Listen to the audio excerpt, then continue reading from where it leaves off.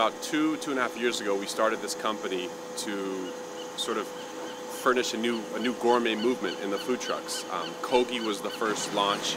Uh, they came to us with an idea for Korean Mexican fusion, and uh, we're all familiar with Kogi now. And they really they exploded a whole new uh, use for what was an existing business model. That model was really taco trucks. It was the regular white roach coaches that were um, serving construction sites and city buildings, jails, things like that. That business had been in existence for 40 years. Other people came to us and said, hey, we have an idea for you know, a fried chicken truck or a kosher taco truck. Um, and all these new chefs and new entrepreneurs um, wanted to try and replicate that model. And I developed the concept actually in Tucson, Arizona. I was working in a restaurant and we are in a debate about the Sonoran hot dog of Tucson and I was telling about the deep fried hot dog of New Jersey.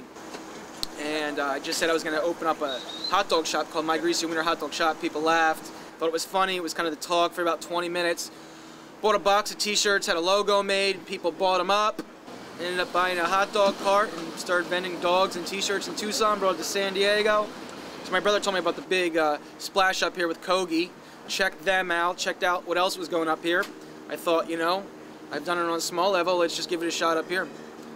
Um, our first goal was to start a building, but yeah, we saw Kogi was doing their food out of a truck. Um, so we thought, you know, our operation is pretty simple, so maybe we could try it. And, um, you know, we got in the truck, came down the road stoves, and, um, you know, a few months later, we were in the first cluster of trucks, maybe like the first 15 or 20.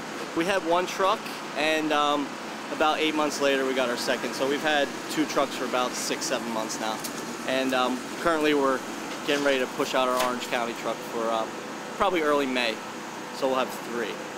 So what was sort of an existing traditional food truck commissary uh, route business became sort of a, a gourmet, upscale, um, leasing, um, technology, Twitter, social media uh, enterprise.